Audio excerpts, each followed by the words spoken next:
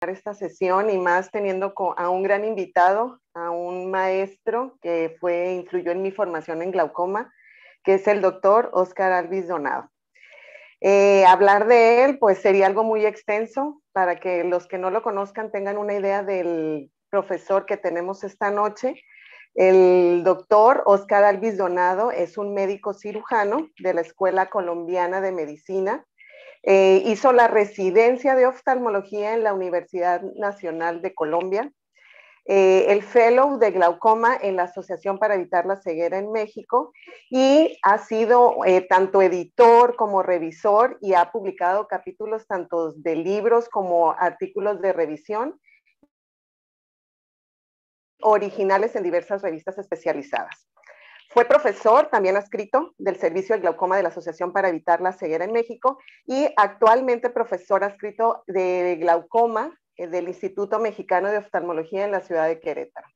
Pues sin más preámbulo, es un placer, Oscar, poderte tener aquí con nosotros de invitado para eh, que nos hables de este tema tan importante y tan, y tan, controversial, que es el glaucoma congénito. Te cedo la palabra. Carla, muchas gracias. Em, también la invitación a ti y a, Malu.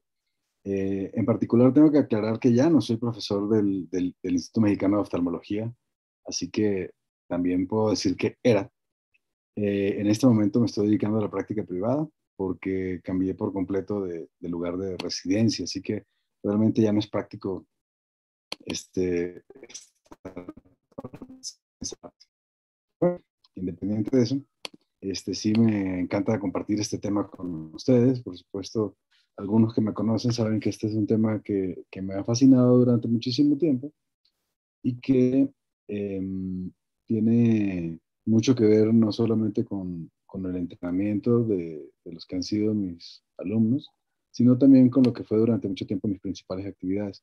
Eh, quiero pedirles una disculpa porque no veo el mouse, no me aparece y la verdad es que no voy a poder señalar cosas pequeñas, pero en fin, voy a tratar de mostrarles lo que más eh, importa y, y, explicárselos para que ustedes identifiquen cada cosa. Les voy a hablar un poco de los glaucomas infantiles y luego nos vamos a enfocar en glaucoma congénito. Eh, se llama glaucoma infantil a todo el daño que produce el aumento de la presión intraocular en el ojo de un niño. Es una causa importante de ceguera y es muy importante hacer un diagnóstico y tratamiento temprano para que se pueda tener un pronóstico visual lo más positivo posible. Eh, en los niños, cuando se presenta el glaucoma tempranamente, hay un aumento del tamaño del globo ocular, también de la córnea, y se van dañando las estructuras del segmento anterior. También va a ocurrir finalmente una disfunción y daño permanente del nervio óptico como consecuencia. También se presenta una pérdida funcional de la visión por ambliopía, la cual puede ser secundaria a anisometropía cuando hay glaucomas unilaterales, a presencia de cataratas, a estrabismos secundarios, incluso a cirugías, por ejemplo, después de colocar una válvula nuestra, y a la posificación de la córnea, que puede ser primaria o secundaria en estos pacientes que tienen glaucoma infantil. En el año 2013, la Asociación Mundial de Glaucoma desarrolló una nueva clasificación de los glaucomas infantiles y lo, dividió en siete categorías.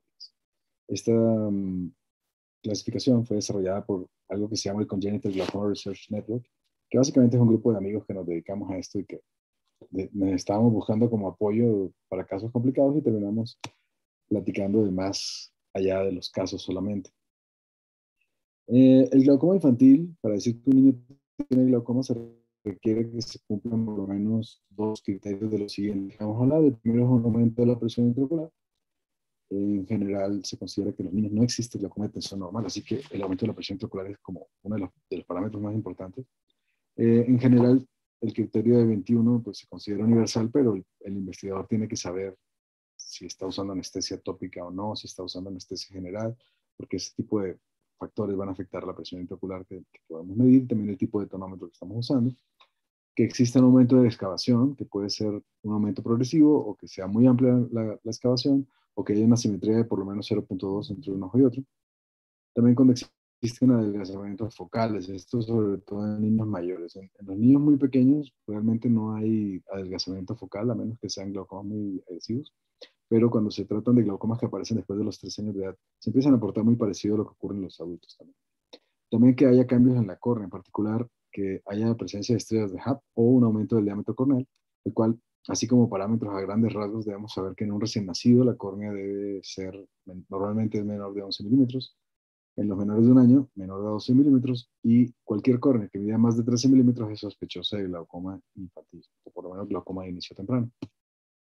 También cuando existe una miopía progresiva, sobre todo cuando es a, a expensas de la longitud axial, y para los glaucomas juveniles, esto es también importante, que exista un defecto del campo, del campo visual que sea compatible con daño por glaucoma.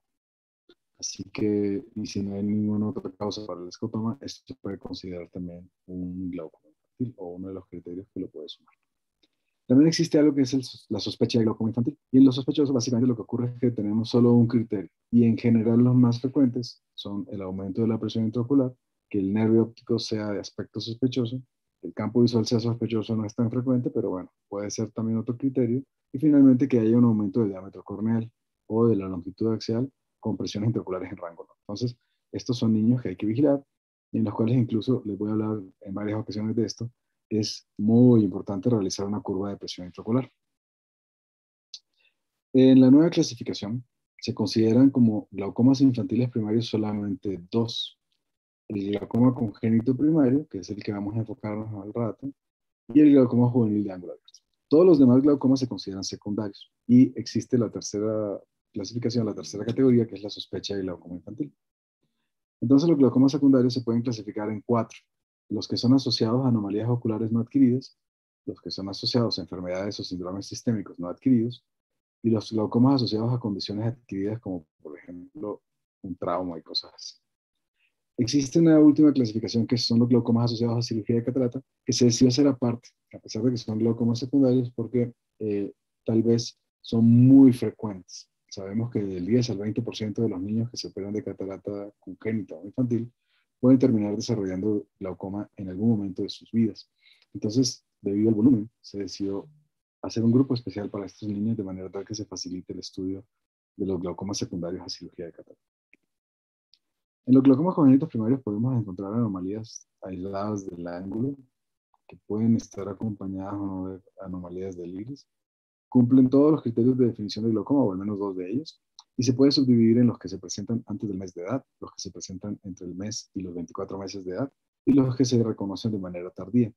También podemos hablar incluso de glaucomas extintos congénitos, cuando encontramos que la presión intraocular se ha controlado por sí sola, el nervio óptico deja de empeorar, pero tenemos una córnea elevada, una córnea grande, por ejemplo, o encontramos estrellas de HAP, que no son de las típicas causadas por, por un trauma directamente en el niño. Así que también puede haber un glaucoma que tenga inicio temprano y resolución relativamente temprana. El glaucoma juvenil primario, en contraste, no tiene agrandamiento del globo ocular, no tiene anomalías o síndromes oculares congénitos. Tiene un ángulo abierto de apariencia normal y cumple los criterios de definición. Está aumentada la presión, está aumentada la excavación, etc.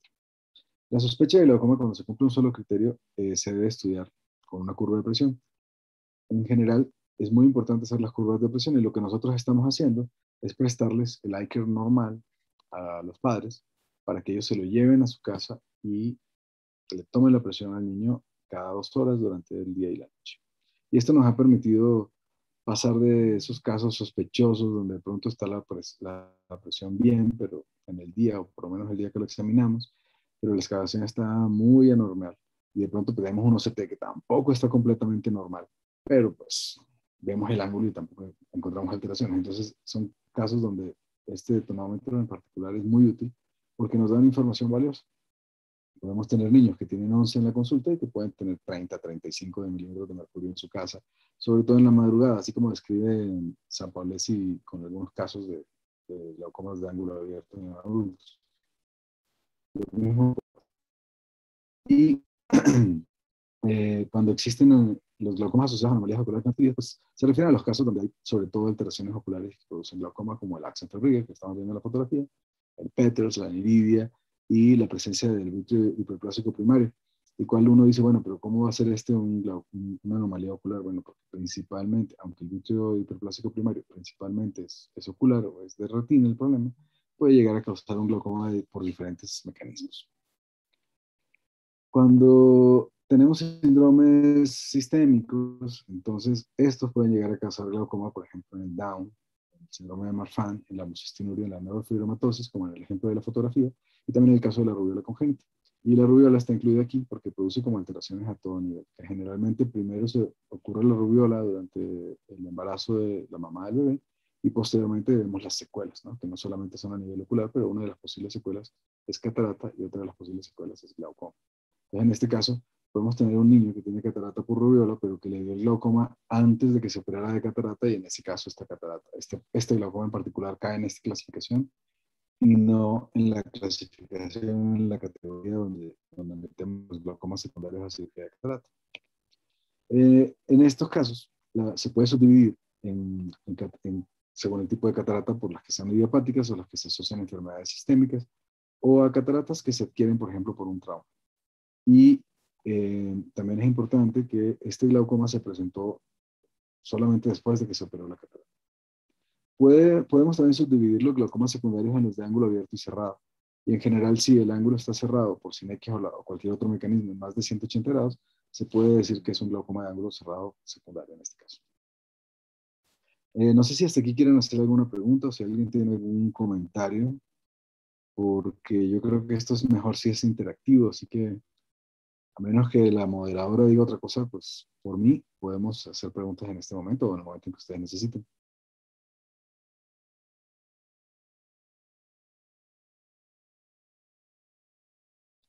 Espero que me estén escuchando. Sí, no, si gustas continuar. Perfecto. Entonces seguimos. Eh, bueno, aquí les estoy mostrando unas fotografías del, libro, del libro de San Paulesi de, de glaucomas infantiles donde está mostrando ángulos normales en el desarrollo embrionario. Fíjense cómo la malla trabecular en la fotografía de arriba está cubierta por un tejido uveal que, del cual hace parte la malla trabecular y también un tejido que normalmente no debe estar ahí al momento del nacimiento, pero que eh, en este caso está como jalando la, el tejido, todo toda la córnea, toda la córnea, todo el iris y el cuerpo ciliar hacia la malla trabecular y se va desplazando hacia atrás hasta que se forma el seno camerular. Bueno, eso es en vida postnatal, pero se forma el espacio que deja la malla trabecular libre. Lo que está ocurriendo en los glaucomas congénitos es justamente que no se desplaza hacia atrás este tejido, se queda tapando, como ven en la fotografía de la derecha, tapando la malla trabecular y el canal de Schlemm. A veces está todo el iris ahí, otras veces está solamente un tejido muy fino que es la famosa membrana de Barker, aunque no sea una membrana verdadera, pero que son eh, restos que no miran adecuadamente hacia atrás y no dejan destapada la malla trabecular. Ustedes pueden observar este tipo de ángulo en, un recién nacido, que es un ángulo normal en un recién nacido, donde no se ven fácilmente casi ninguna estructura. Si ustedes se dan cuenta, medio se ve, el canal de Schlemm, pero no se ve la malla trabecular. Se, ve casi que el canal de Schlemm pero no se ve el pigmento que normalmente vemos en los adultos en la malla trabecular. También el iris se ve hipodesarrollado. Si ustedes se fijan en estos ojos azules, hay unas criptas oscuras que son segmentos del cuerpo ciliar. Justamente coinciden con, los procesos ciliares en la parte posterior y eh, se, se, debe a que la raíz del iris todavía no se ha terminado de formar, no está completamente formada y el seno camerular tampoco. Estos son otros ángulos también normales de un recién nacido y a veces se llegan a confundir con glaucomas congénitos. Entonces hay que estar muy abusados de que primero la gonioscopía nos define si hay o no hay un glaucoma congénito clásico o es algún otro glaucoma infantil, pero también nos define cuando, eh, el tipo de, cuando vamos a decir el tipo de cirugía que vamos a realizar y al rato les voy a hablar de eso también. Entonces, primero que nada, aumento de la presión. A veces toca hacer curvas de presión para detectar los picos en los niños con sospecha de glaucoma, donde no es muy claro el aumento de la presión intraocular. Tener en cuenta que si usamos anestésicos inhalados, en el examen bajo anestesia la presión va a bajar. Eh, tomar la presión en este caso en el momento de la inducción antes de poner el tubo. hay que decirle al anestesiólogo, mira, con la pura máscara, ya que está medio dormido el paciente, tomamos la presión. Y a veces podemos usar ketamina, hidrato de cloral o midazolam, que afecta menos la presión intraocular. Incluso el midazolam puede ayudar en los niños que están muy agitados en el consultorio. Se les puede dar vía oral de la ampolla que, que es inyectable, eh, dependiendo del peso y con eso logramos sedar al niño de manera tal que media hora después está el niño feliz, ya se deja tomar la presión, se deja examinar completamente y no se duerme por completo. Importante que las córneas aumentan de tamaño hasta los tres años. Los glaucomas que se presentan después de los tres años usualmente tienen córneas de tamaño normal Eh, la Asociación Mundial de Glaucoma recomienda que el grosor corneal no se utilice para corregir la presión intraocular en niños. Eh, de hecho, tampoco sirve para los adultos, pero bueno, eso es un tema diferente. Y, y, esto es algo que a veces entra uno en debate con varias personas, pero en los niños el grosor corneal eh, es poco predecible, en particular cuando tienen glaucoma congénito, debido a que el grosor corneal varía entre si se mide ultrasónicamente en una estrella de Hub o al lado de la estrella de Hub o en el borde de la estrella de Hub, no puede marcar diferencias de hasta 100 micras o incluso un poco más entre, en, en, zonas que están a menos de un milímetro de distancia de la una de la otra. Muy importante realizar conoscopía en cuanto sea posible, es decir, cuando está la córnea opaca pues no se puede ver, pero cuando se aclare la córnea lo suficiente, tenemos que ver conoscopía, por favor. Valorar la excavación, idealmente en, en tres dimensiones, que podamos tener visión estereoscópica. En la fotografía están viendo un nervio óptico visto a través de un lente de tres espejos en el microscopio quirúrgico. Entonces el lente de tres espejos, el lente de Goldman, nos puede servir muchísimo para el examen bajo anestesia. Tenemos al niño dormido, ponemos el lente de Goldman con su metilcelulosa y nos permite hacer conioscopía, nos permite también ver cómo está el nervio óptico, incluso en este caso que está en miridasis medio, pero también se puede ver en, eh, sin tener una miridasis tan marcada, simplemente presionando un poquito, inclinando el lente hasta que se logre enfocar el nervio óptico. También es ideal tomar fotografías o filmar. Si tenemos el microscopio quirúrgico, básicamente podemos estar grabando la cirugía y el examen bajo anestesia. Podemos utilizar el RedCam Pictor o podemos dilatar la pupila y utilizar un celular como lente de 20 dioptrías, como hacen los retinólogos, y con eso eh, evidenciar cómo está el nervio óptico, cómo está la retina, la mácula, etcétera, en estos niños. Existe una versión portátil del OCT que se puede utilizar vertical. Hay algunos estudios con respecto a este equipo eh, y nos puede servir para los niños muy pequeños para poderlos poder hacer un seguimiento del estado estructural del nervio óptico. Podemos aprovechar la anestesia para hacer una refracción cicloplégica y poder medir la longitud axial. La refracción y la longitud axial son importantes para saber si hay aumento de la miopía o por lo menos de la longitud axial que nos pueden indicar si el crecimiento del ojo está muy acelerado, que el glaucoma está mal controlado. Lo que les hablaba de la curva de presión, siempre que hay sospecha debemos hacer una curva de presión, después estamos el a los, a los padres para, obtener una información que nos permita definir el tratamiento, pero también es importante dárselos después de que estén los niños en tratamiento, porque tenemos que comprobar que los picos o las fluctuaciones que están presentando esos niños que sí tienen glaucoma estén controladas con el medicamento. Y cuando no se controlan con medicamento, pues tenemos que pensar en una cirugía filtrante en los niños con glaucoma juvenil. En los niños con glaucoma congénito ni siquiera hay que dudarlo, esos son eh, casos que básicamente son quirúrgicos siempre.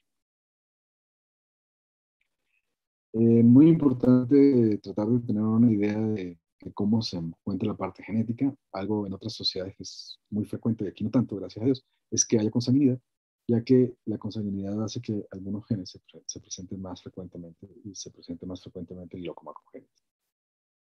Entonces, hablando de la parte genética, para el glaucoma congénito primario, tenemos cinco losis identificados asociados al glaucoma congénito primario y eh, se, se, clasifican del A al E. Aquí está una lista y voy a hablar de cada uno de ellos, de lo que se sabe hasta ahora de cada uno de estos, de estos losis. Sobre todo si que cuatro de ellos tienen ya un gen específico que se ha asociado sus mutaciones a esta presencia de glaucoma. El A fue el primer locus que estuvo relacionado con glaucoma congénito primario en una familia en Turquía. Está localizado en el cromosoma 2, en el brazo corto, y su gen está asociado con el funcionamiento de la citocromo P450.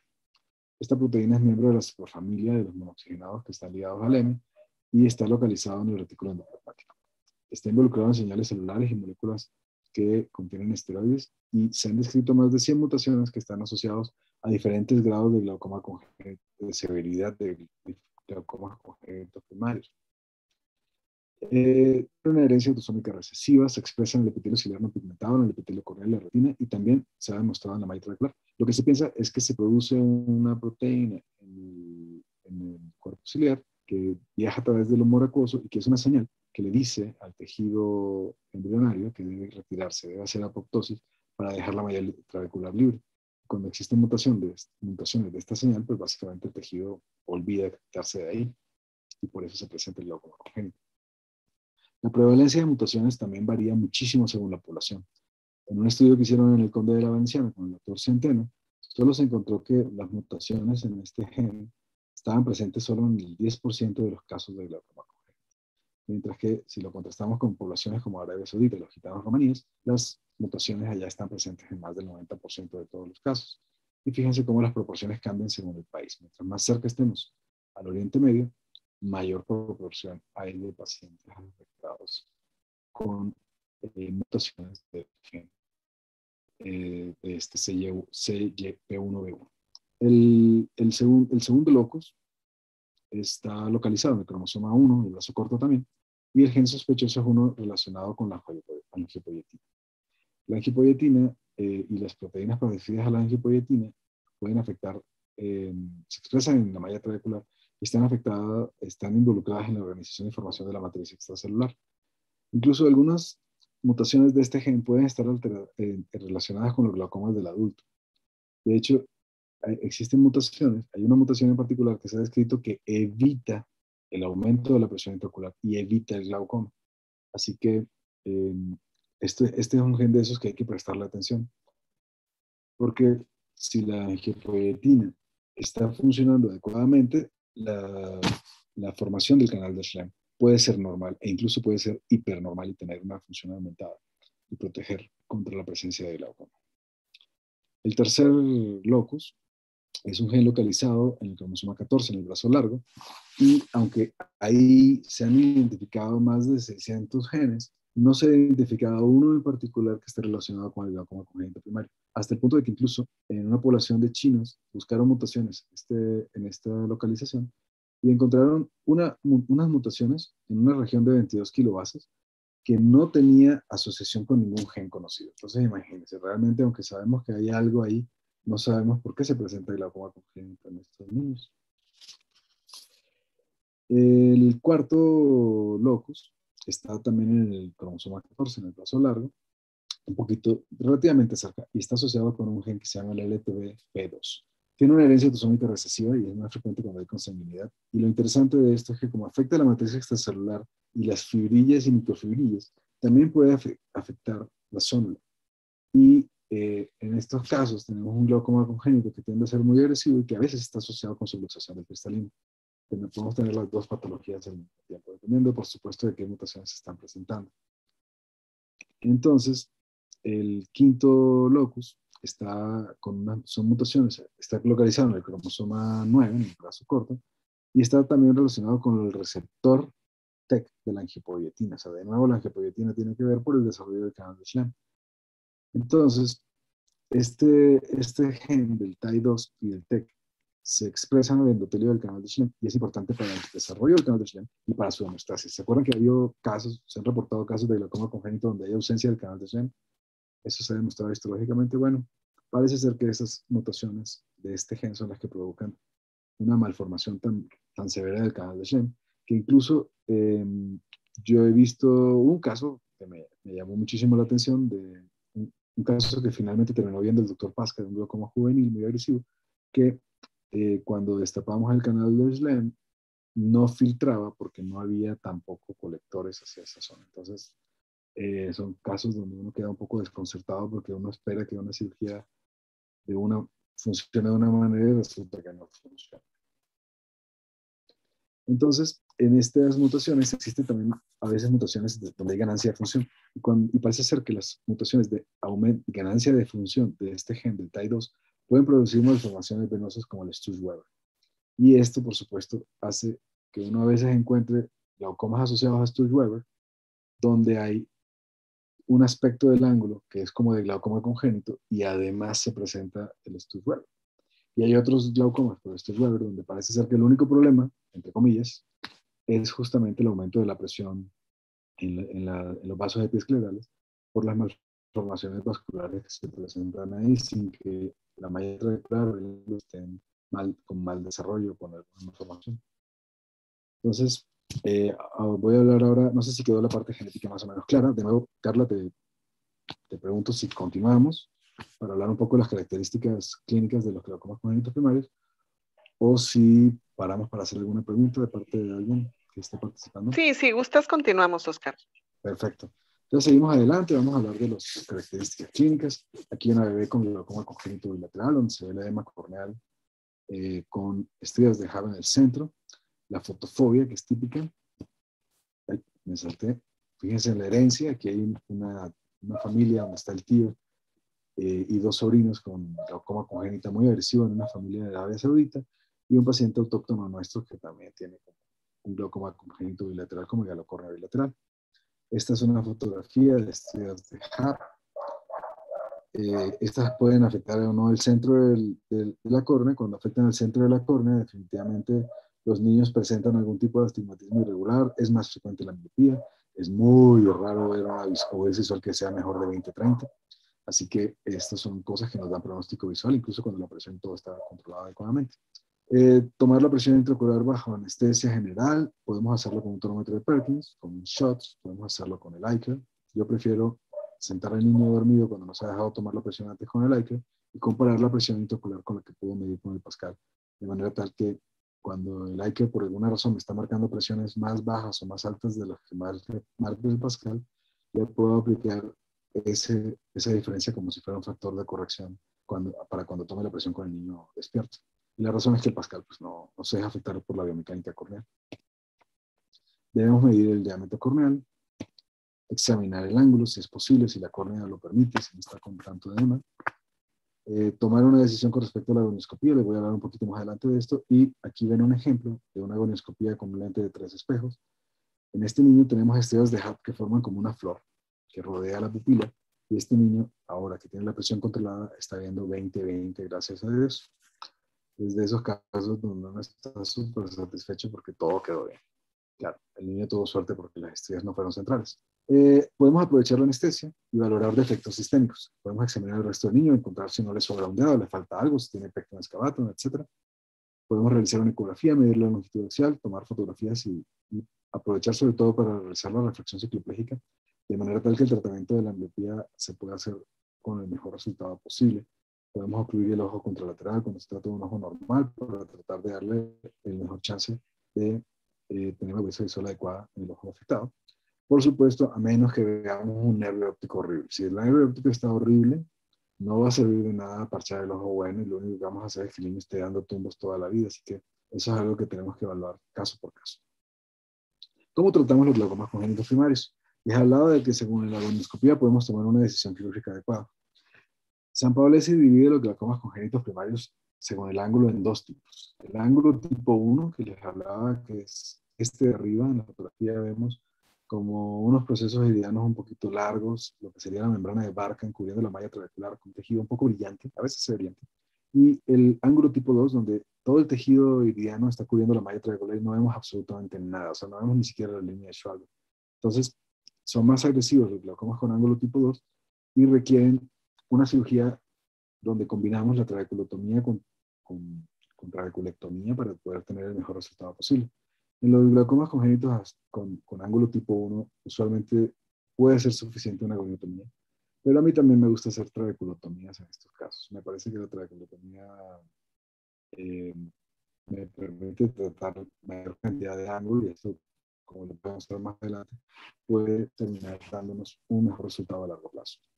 Entonces, las cirugías para glaucoma congénito empezaron con Barham, con la goniotomía en el año 42, y las goniotomías eh, que se hacen por vía cámara anterior, pues han tenido diferentes tipos de, de, maneras de hacerlo. Se han podido hacer endoscópicamente, utilizando un endoscopio, un eh, ocular. Se han realizado con viscoelástico o bajo solución salina. Se han podido realizar trabeculotomías a interno con sutura se llama GAT. Esta cirugía también se está realizando en adultos.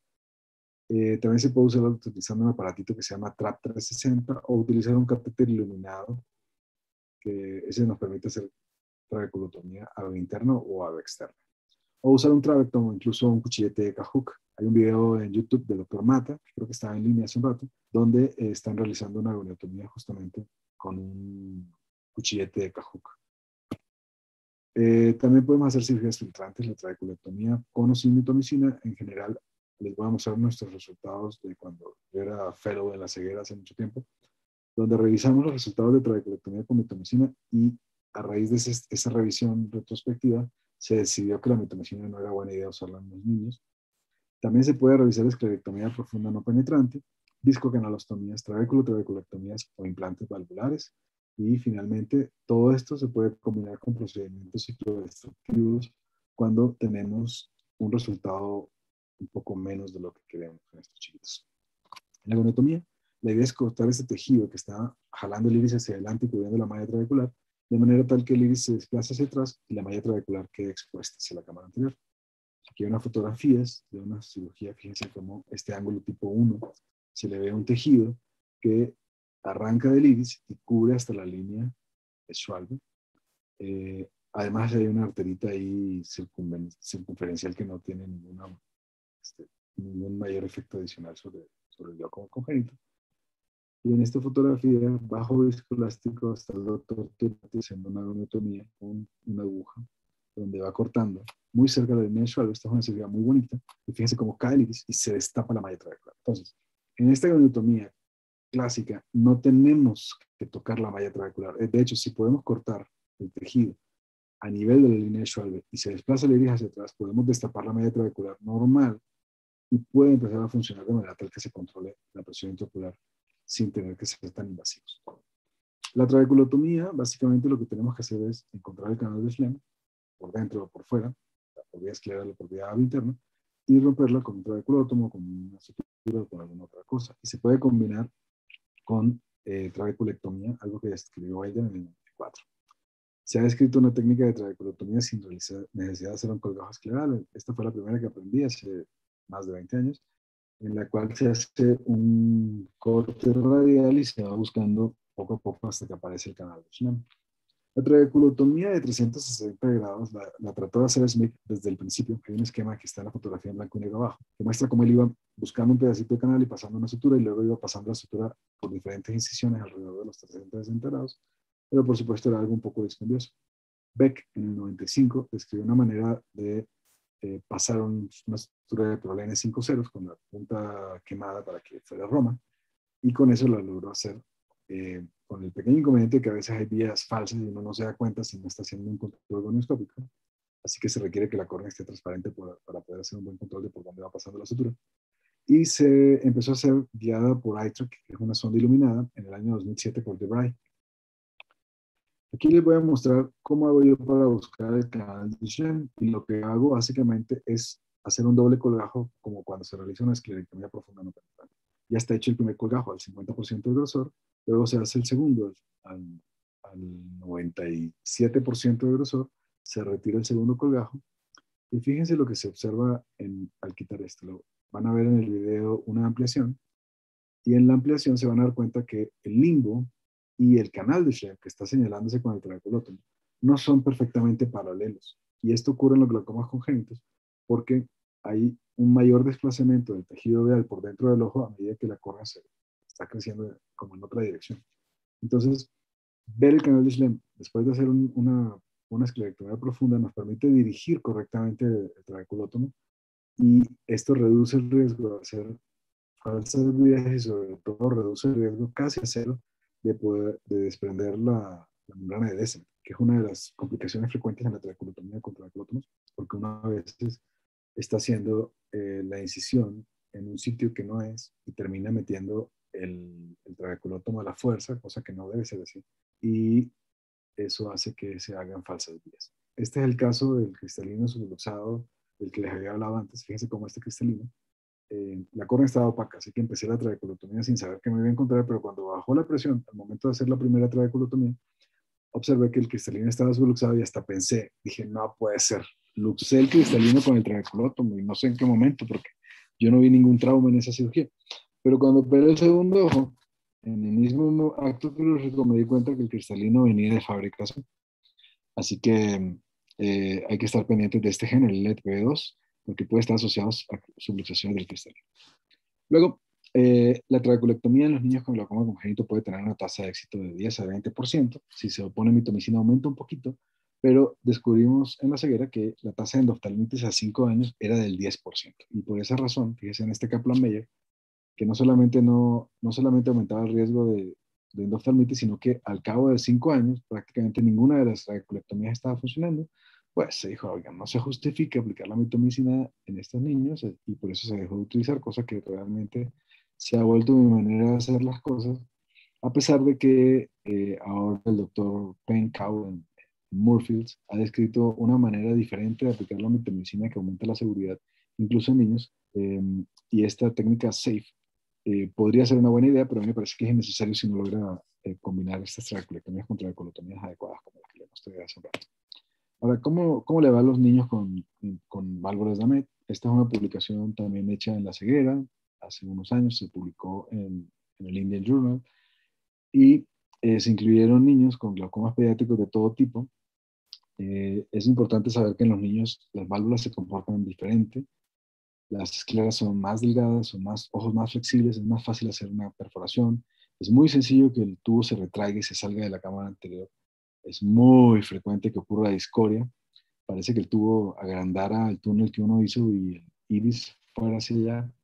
Así que esto es relativamente frecuente. Y tiene que ver también con el rascado y la, de, que los niños tienen alergia con cierta frecuencia. Y esto predispone a que haya exposiciones e infecciones. Muy importante, las válvulas que llamábamos pediátricas son para ojos pequeños, ojos que midan menos de 20.5 milímetros de longitud axial. Y cualquier ojo grande o de tamaño normal o mayor, mayor de lo normal debe recibir una válvula adulta, entre comillas. Aquí está el abstract. Si a alguien le interesa, se lo puedo mandar después. Pero le voy a mostrar los resultados.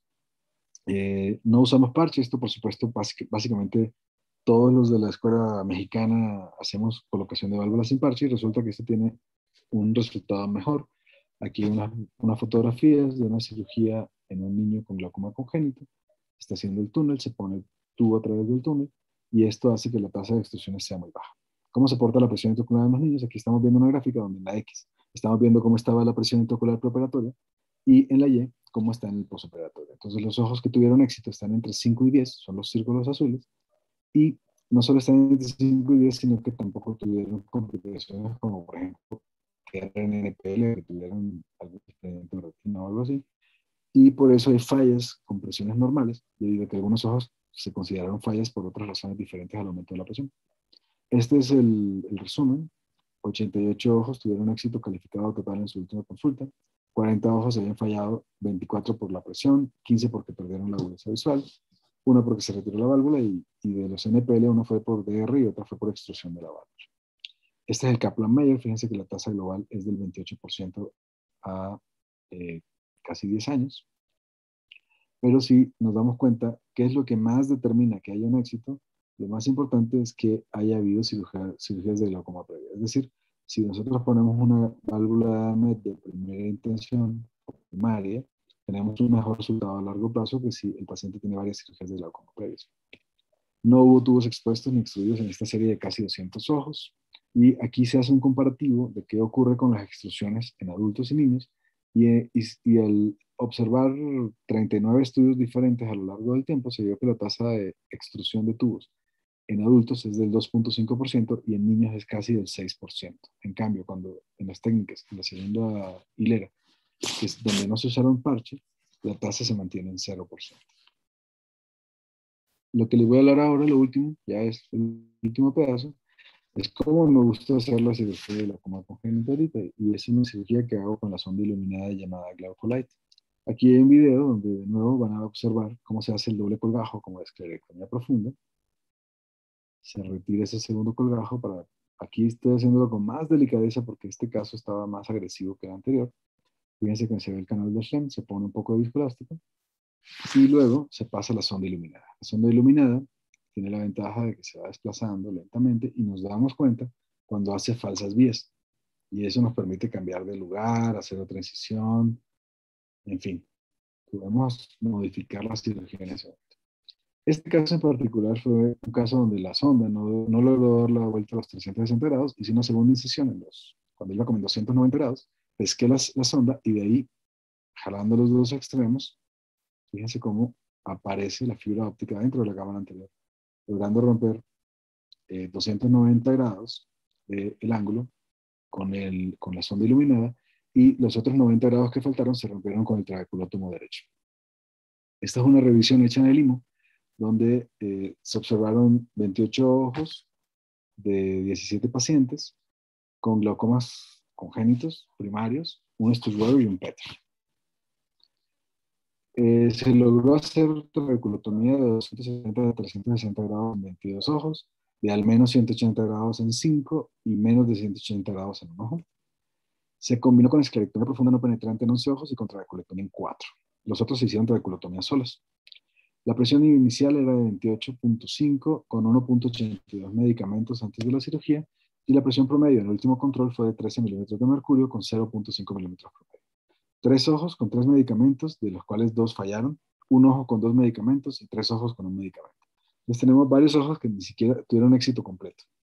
Y este es, eh, fíjense, el comportamiento de la presión intraocular entre el pre y el post. Aquí tomamos como criterio de éxito de 18 milímetros de mercurio para 5 y 18. Y fíjense cómo eh, la mayor parte de los ojos cayeron en éxito. Este es el Kaplan-Meier. Fíjense cómo después de dos años y medio, la tasa de éxito se mantuvo en casi 90% en estos chiquitos, donde se pudo hacer trabeculotomía eh, de casi 360 grados o 360 grados.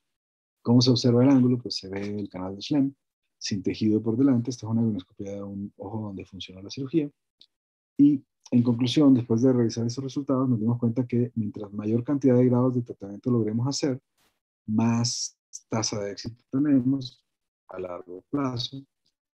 De nuevo, recalcar que el diagnóstico y el tratamiento temprano son muy importantes y siempre pensar que la cirugía que vayamos a hacer debe funcionar durante prácticamente 100 años porque estos chiquitos que operamos hoy van a tener incluso una expectativa de vida mayor que la que nosotros tenemos. De nuevo, a la doctora Berganza puede estar conmigo siempre pendiente de que la ambliopía no nos gane en estos chiquitos con glaucomas congénitos, todos los pacientes que han participado y la invitación de la doctora Malu Zavala y de la doctora Carla Chávez por coordinar esta sesión. Muchas gracias. Ahora estamos listos. Bueno, yo estoy listo para preguntas y les van a hacer. Muchas gracias.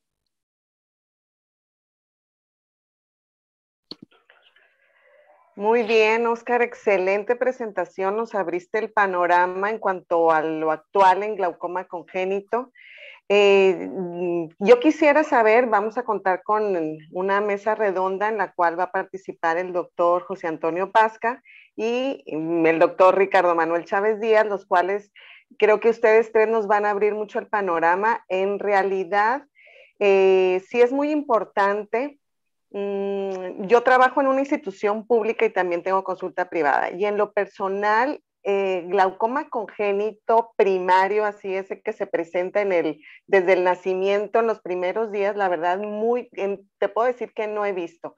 Yo quisiera preguntarles qué tanto en realidad un glaucoma congénito así primario, primario de primer mes de nacido o por lo menos antes del año de edad, están viendo ustedes en su consulta? Porque yo creo que, y más que yo vivo en provincia, muchas veces todo eso se centraliza y el paciente pues emigra a ciudades más grandes, ¿no? Entonces, eh, yo sí quisiera saber eso, qué tanto realmente, si se ve realmente, se sigue viendo mucho el glaucoma primario como tal, o estamos viendo ya glaucomas infantiles o inclusive glaucomas congénitos tardíos, ¿no? Que no vienen tan, tan claros, tan florido el cuadro, con la córnea opaca, con, la, con las estrías de Had inclusivemente, ¿no? No sé, el doctor, doctor Pasca, si quisiera comentar algo. Ahorita me da mucho gusto ver que hay mucho oftalmólogo pediatra estoy viendo unas amigas también de Colombia que son oftalmólogas pediatra y creo que también es importante porque muchas veces de primera intención con el paciente creo que acude primariamente con el oftalmólogo pediatra y después acude con el glaucomatólogo o ellos mismos lo, lo, lo, lo remiten. Entonces creo que sí es importante saber qué tanto y los demás también qué tanto están viendo, ¿no? Muy bien, doctor Pasca, lo escucho. Hola, ¿qué tal? ¿Cómo están? Oscar, qué gusto eh, verte, escucharte. Igualmente, eh, Me pareció eh, tu, ponencia pulcra, sistemática y verdaderamente informativa. Te, te, agradecemos mucho, apreciamos que haya sido de esa manera tan organizada y combinando la evidencia científica con tu propia experiencia clínica, clínico-quirúrgica, porque eso tal vez es muy valioso tratándose de, de condiciones que son raras, porque al final, aunque no, sabemos bien a bien cuál sea la, frecuencia de, glaucoma congénito, o inclusive de glaucomas pediátricos, aunque hay, hay algunas prevalencias reportadas en los hospitales, eh, los hospitales de concentración, Al final no sabemos cuál es la, el riesgo que tenemos en México, pero sí, sí sabemos, y, y tocas un, un, punto muy importante en la consanguinidad, sí sabemos que eh, en, en, la región, por ejemplo, en Michoacán hay una, un alto grado de consanguinidad y, y, y lo sabemos por enfermedades, eh, por distrofias retinianas, eh, que son altamente prevalentes y que en esa zona, en, en, en relación a lo que nosotros vemos, Michoacán y Zacatecas son zonas que frecuentemente eh, hacen llegar eh, casos de glaucoma congénito a la zona de Guadalajara. Entonces, no, no lo sabemos, estamos un poco a ciegas y no, y no sabemos eh, cómo, cómo, estamos en México. Y no sé si tú tengas una, una vaga sospecha, porque sabemos que, como lo mencionaste, que mientras que en Irlanda, Reino Unido y los Estados Unidos eh, la prevalencia es entre uno, entre uno de cada 10.000 a 20.000 nacimientos vivos, en Arabia Saudita y Egipto es de uno en cada 1.000 a 2.000, ¿no? Correcto. Eh, entonces, esta, esa es, yo creo que ese punto es muy importante y, y antes de, de, que, de escucharte con atención, sé que, que la doctora Enriqueta Hoffman tiene esa iniciativa de, de hacer un registro. No sé si, si Oscar, estás tú participando en sí, ello, pero también. es súper interesante que, que, podamos poner manos a la obra y seguir el liderazgo de Enriqueta o de quien más los tenga para, para hacer esto. A platicar cuál sería tu impresión. Me, gustaría muchísimo saber eh, eh, tu, tu impresión como experto en esa área, Oscar. Bueno, yo también pienso igual que tú, que debemos tener una prevalencia más o menos de uno en 10 mil. Este, porque pues sí, cuando uno está en un, en un, sitio de concentración, pues cuando estaba en la ceguera yo operaba o por lo menos hacía exámenes bajo anestesia de 4 a 5 niños todos los lunes. O sea, se acuerdan perfectamente Carla y Malu, porque era como el lunes de los niños, eso era típico. Este, pero obviamente cuando pasé al IMO, la, la, frecuencia de estos exámenes bajo anestesia se redujo más o menos a, a uno cada dos semanas.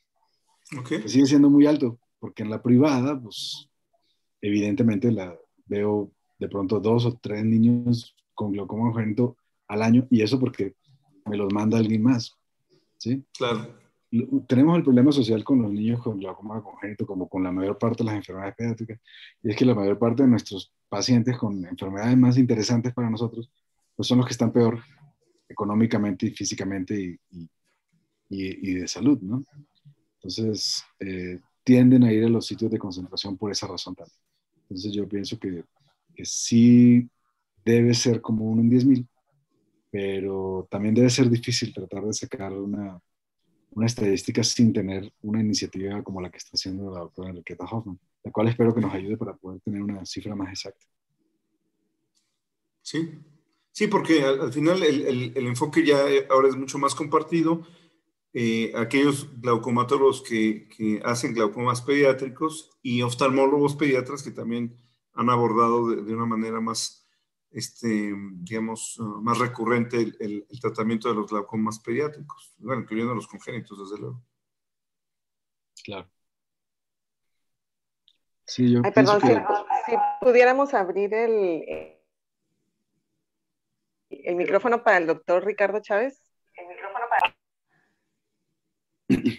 Mientras tanto, voy a, mencionar que el Congenital Glaucoma Research Network también hizo una, un esfuerzo parecido de recolectar datos clínicos de diferentes centros de todo el mundo y que incluso hay una publicación de cómo, cómo estuvo esto, de los cuales, por ejemplo, en la India, más de 200 de los casos que están en esa publicación venían de un solo centro. Oh, imagínate. Así que, pues, cuando se pone uno a analizar eso, dices, claro, mientras más consanguinidad, pues más concentración y pues todos son índices, o sea, a la larga tiende a ser un índice de pobreza en, algunas culturas y en otras, o sea, en la India es más por eso, mientras que, por ejemplo, en las culturas como Arabia Saudita es porque es, es preferible casar a las sobrinas con los tíos y cosas así, ¿no? Claro.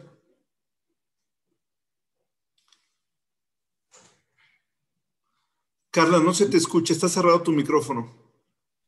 Bueno, yo, yo, creo que en lo que se abre, tal vez valía la pena abordar algunos de los elementos que tú dices, eh, Oscar, me, me, me, estoy muy interesado en ello.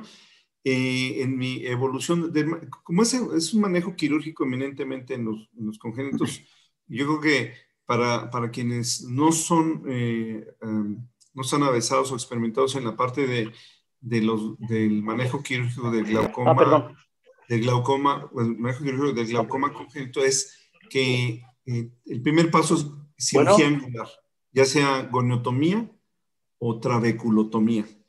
eso creo que queda claro. Al principio, en, mi, curva de, experiencia, yo empezaba haciendo eh, trabeculotomías inferiores. Si fallaba, pasaba a una trabeculotomía superior. Eh, y con el tiempo, bueno, fui más bien estadificando el, glaucoma. Y, los más severos, pues les hacía trabeculotomía inferior y superior. Y finalmente hoy tengo una aproximación más parcial a tuya y prefiero a todos, digo, desde luego eh, también mm, hago algunas eh, individualizaciones dependiendo del caso, pero prefiero hacer trabeculotomía, trabeculectomía. Ricardo, ¿qué tal? ¿Cómo estás? Sí, sí, sí, sí se escucha, ¿eh? Sí, se escucha. Sí, se escucha bien, perfecto.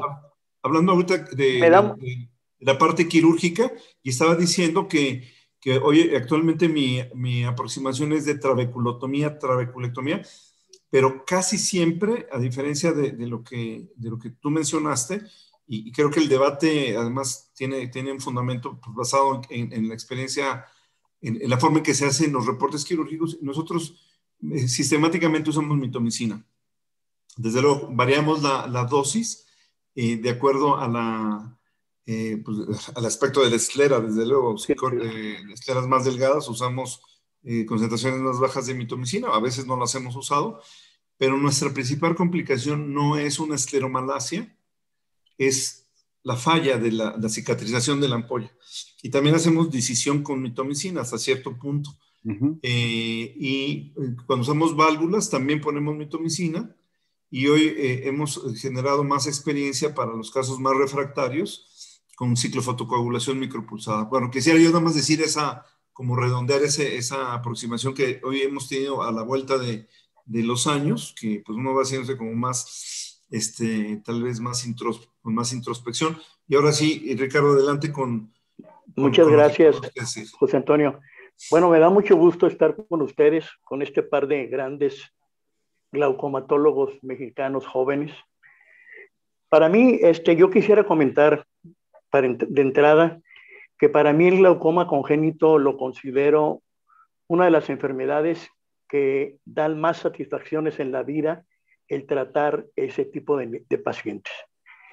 El oftalmólogo que tiene un paciente con glaucoma congénito realmente se casa, es un matrimonio que se casa él con la familia sobre todo con el padre y la madre. Es importante eh, aclarar que es de relevancia, pero le doy una gran relevancia esa, esa relación entre la familia y el médico.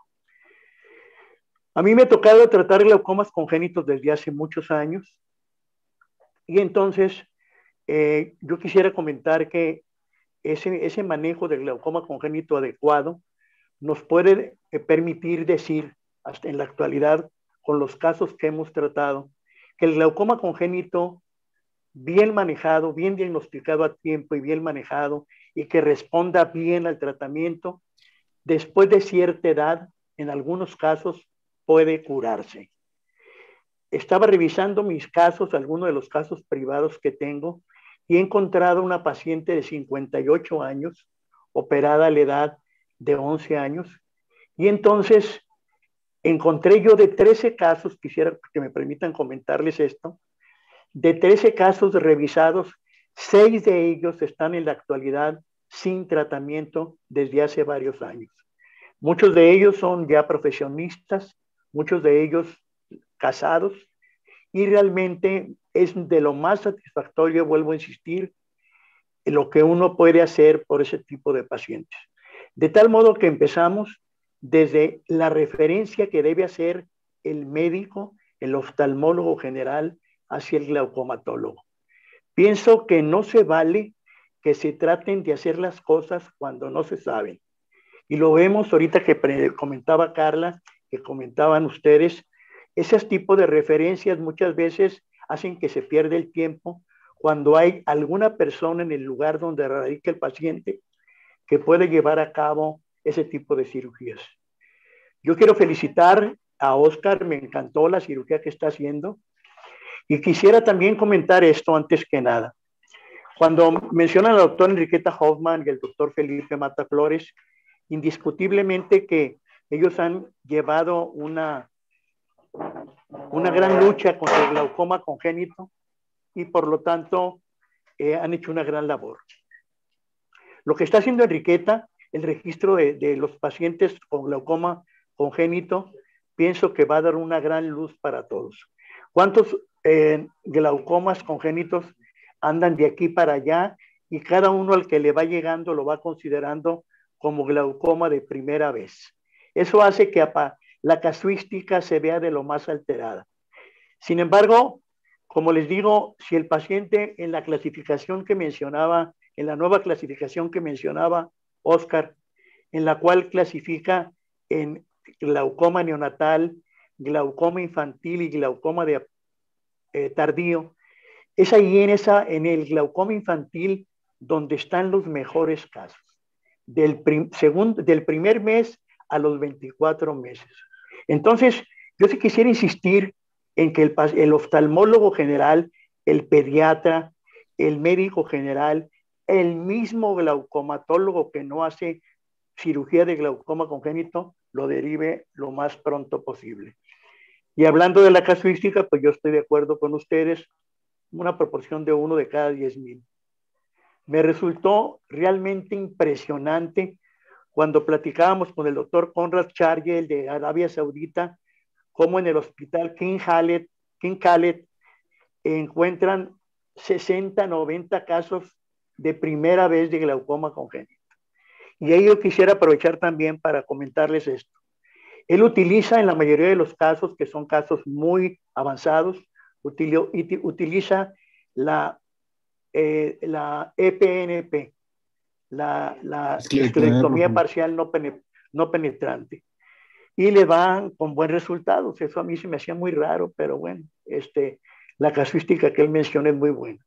Y ya nomás por último, eh, mencionar que la, la, técnica que está llevando a cabo Oscar, eh, quiero darle un gran mérito a alguien de Guadalajara, la doctora Teresa Barrios, quien desde 1990, eh, influida por una plática que dio en Guadalajara el doctor John Lynn de Texas, quien a su vez modificó la técnica de Resmond Smith, empezó a hacer una canalización del conducto de Schlem con nylon en aquel tiempo, nylon 6 ceros, y entonces tuvo una gran cantidad de éxitos. Hacía una incisión a las 12 para trabeculotomía y otra incisión a las 6 y canalizaba el conducto de Schlem hacia un lado, nada más una canalización de 180 grados y qué es lo que ahora está de moda. En aquel tiempo yo recuerdo que la mayor parte de los glaucomatólogos no, vamos a usar la palabra, no le hicieron mucho caso. Y me da mucho gusto ver ahora y quiero hacer mención de ello, que es la técnica del presente. Claro, las cosas van cambiando, se van adaptando y con este material con el que ahora cuentas, como es el iTrack o como es este, ¿cómo le llamaste? La, glaucolite. La, glaucolite, pues hombre, este, las cosas se ponen de maravilla. Entonces yo quiero felicitarte, Oscar, por tu plática. José Antonio, seguimos adelante. Muchas gracias, doctor. Y, sí, yo creo que la esclerectomía profunda funciona bien, pero yo nunca la hago sola en un niño con glaucoma congénito, porque me parece que no resuelve el problema, que es justamente que está el, tejido en la cámara anterior evitando que pase el acoso correctamente hacia afuera. Y sí hablé con, el, con, con Conrad y con otro amigo que también está en el King Calet, que, que me dice que incluso que no solamente Conrad, o sea, no solamente los glaucomatólogos hacen la cirugía, sino que hay tantos niños con glaucoma congénito que básicamente todo el equipo tiene que saber hacer una esclerectomía profunda porque lo hacen como de primera intención en todos los niños. Eh, a mí me parece que eso, o sea, es una cirugía súper segura. Me encanta hacer esclerectomías profundas, la verdad es que esa es mi cirugía principal. Pero en un niño con glaucoma congénito siempre lo voy a combinar con trabeculotomía, mínimo con trabeculotomos. Y, y, y, por supuesto, si yo sé qué es lo que voy a hacer, pues llevo el glaucolite, que espero me aguanten unos años más los que tengo para los niños que faltan pero va a, haber un momento en que voy a necesitar tener un iTrack para poderlo hacer, ya que el Glaucolite salió del mercado, ya no se consigue. Lo que pasa es que el Glaucolite realmente se, se diseñó para canaloplastía. Y la, la canaloplastía pues dejó de tener auge, aunque, aunque yo, yo, también lo tengo y es que terminó por romperse, aunque eh, no, no, no he yo la, no se rompió más que el principio, entonces podría seguirla usando, es súper eh, interesante, pero el problema de cinco ceros también puede funcionar, claro, no vas a tener la, esa parte muy chévere de, de que esté eh, iluminándose y que tú veas cómo va caminando tu, tu sonda, pero también se puede usar Ahora, realmente también es más demandante, o sea, consume bastante más tiempo y a veces puedes, te puede frustrar el, el, que, se, el que se atore, eh, que tengas que abrir otro puerto. Eh, yo, yo, conocí a algún, algún profesor alumno de, de, la doctora María Teresa Barrios que continúa haciendo, en, ahora en el, último congreso en Monterrey me dijo, yo sigo haciendo, este, él es oftalmólogo pediatra, yo recuerdo, y él sigue haciendo sus, eh, sus trabeculotomías 360 grados con prolene. Eh, yo de repente tal vez no tengo esa, esa tranquilidad para hacerlo y prefiero hacer mi trabeculotomía de derecho, izquierdo. Es, es muy importante el, el, énfasis, el, énfasis, que tú haces, eh, Oscar, que el, el, trabeculotomo tiene que pasar fácilmente. Yo no insisto con mi celu. Si no se desliza como mantequilla, no estás en, en el SLEM. ¿sí? Y aunque yo sí hago colgajo superior, eh, eh, creo que la, técnica es hacer una incisión radiada hasta que eh, se encuentra, abre el, el, el slam, pues es la mejor forma de hacerlo. Y, y, de todas maneras, como la idea de poner un flap, un colgajo estelar arriba, es que a veces el, el agujero puede ser grande y puede filtrar y a veces hay que reparar el agujero independientemente que se vaya a hacer una, trabeculo, una trabeculectomía. Normalmente nosotros usamos eh, mantenedor de la cámara anterior eh, y usamos justamente la técnica a la que tú haces referencia, que es la, la, la trabeculectomía segura de, que describió Penco, casi el, tal vez el 90%, 95% de cómo él la describe, la usamos nosotros, la usamos en niños y la usamos en adultos, de manera que nuestras ampollas filtrantes, cuando, cuando tenemos éxito, son de bajo volumen, extensas, con un aspecto parecido al del resto de la conjuntiva, por eso a veces hacemos decisiones, ¿no? Eh, entonces, eh, nosotros no, no, vemos esa parte, por eso de repente eh, la extrapolación de decir, oye, no se puede hacer mitomicina C, bueno, pues puede ser, básicamente habría que revisar en, en, esa, en esa serie reportada en la ceguera cuál era la técnica de trabeculectomía para saber si se puede extrapolar o comparativamente, digo, mientras no se haga con un ensayo clínico aleatorizado, pues no, no, no se va, a hacer más que una comparación histórica.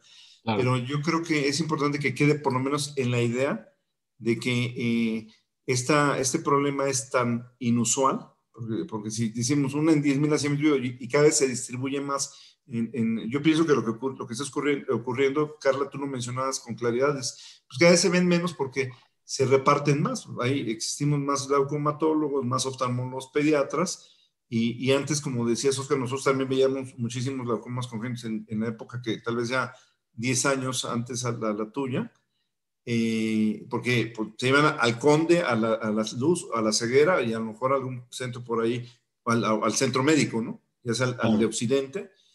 Por eso, por eso la doctora eh, María Teresa Barrios tiene tan, tanta experiencia, pero ella es, el parteaguas en, en el Occidente pero lo, lo sabrá también en el, en el, centro médico, en el, lo que después fue siglo XXI.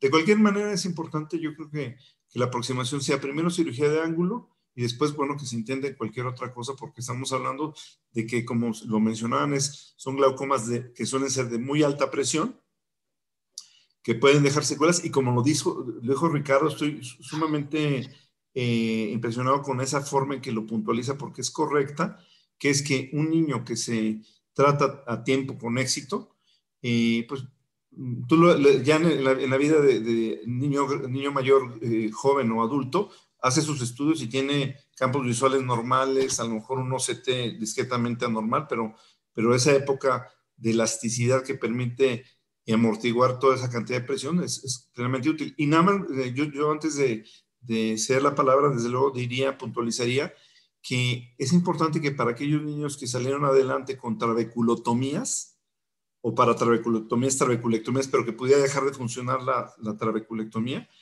eh, existen eh, épocas vulnerables o lábiles entre los 5 y 7 años y luego en la pubertad, en la que dos o tres de cada 10 pueden subir la presión. Entonces, es importante subrayarle a los papás que tienen que seguir siendo revisados dos o tres veces al año y que el enfoque multidisciplinario, Ruth lo mencionaba muy bien, eh, porque decía, oye, envían a consejo genético, bueno, no solamente a consejo genético, los niños tienen que enviarse a genética, ¿sí? Porque, porque son niños que, que tienen este, que pueden tener tumor de Wilms o pueden tener otras anormalidades. Entonces, sí es importante, o, tener un síndrome, Bueno, eso es lo que quería decir.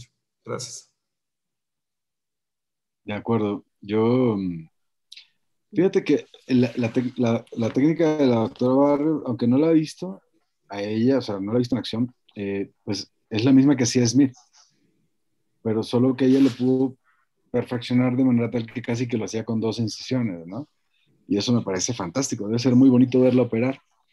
Yo creo que la, la cirugía que, que, se hace con problemas funciona perfectamente. El problema 5 ceros quemando la puntita es espectacular. Tengo un caso, eh, el, el, segundo caso que hice con problemas 5 ceros hace unos cuantos años, antes de que existieran las ondas iluminadas. Por supuesto que me hizo una falsa vía. Y, y, y, es muy difícil darse cuenta porque en el momento en que la, el, el, el problema se sale del canal de Schlemm, pues se va hacia el espacio supracoroidal. Puede ser. Entonces, no aparece al otro lado y tú estás metiendo el problema como loco y no te das cuenta porque de pronto la córnea está muy opaca y no puedes hacer control gonioscópico.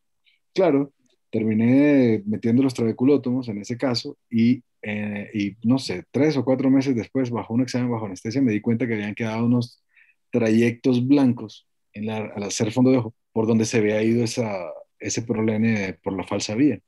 Entonces, pues fue así como que, mmm, esto debería, ser, debería poderlo hacer de otra manera. Y en esa época tampoco hacía la, la esclerectomía profunda primero. Es decir, hacía la incisión radial para buscar el canal de Slem. Y era relativamente, no, no muy frecuente, pero sí me pasó como en tres casos que, que desprendí la DSMET porque yo pensaba que estaba en el canal de Slem y resulta que era otra cosa, o sea, era simplemente otro lugar. Yo quisiera, yo quisiera comentar Así que, no sé, yo, sí. Es, importante eh, eh, recordar y recalcar que el ojo del niño con glaucoma congénito es un ojo completamente fuera de lo habitual. Para empezar, cuando hablamos del limbo quirúrgico, recordemos que es mucho, muy diferente. Sencillamente, cuando medimos con el compás, sí que se me pasaba comentar eso, es recomendable y hay que recordar que debemos de medir el diámetro horizontal. El otro día vi yo un libro español donde están midiendo el diámetro vertical. Eh, acordemos que en el diámetro vertical, en la parte superior sobre todo, en el niño de por sí, más en el glaucoma congénito, se presenta una especie de panus que altera por completo la zona donde estamos midiendo. Es importante recalcar que sea el limbo horizontal.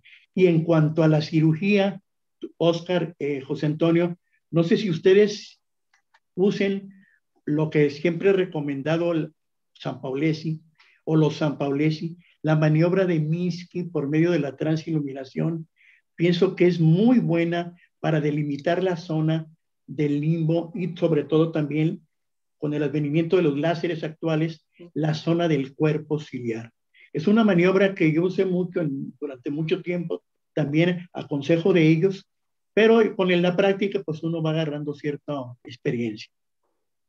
Yo pienso que es súper útil para aplicar el láser micropulsado o cualquier otro láser debido a que el limbo, el limbo y el cuerpo auxiliar no están donde uno espera. Y también podría ser muy útil cuando uno coloca una válvula de MET.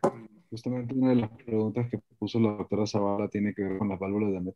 Y Em, colocar un tubo en un niño es todo un arte. Realmente uno puede ponerlo tan mal que termine complicando las cosas de una manera horrible.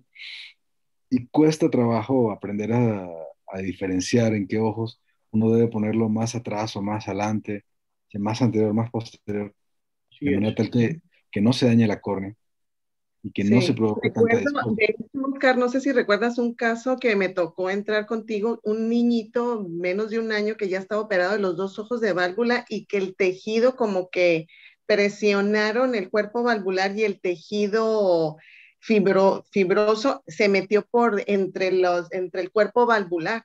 O sea, ya es niño, ya, y los dos ojos, o sea, ya le cerraron en ese momento la posibilidad de un de, la última opción que, viene siendo la válvula a tan temprana edad, ¿no?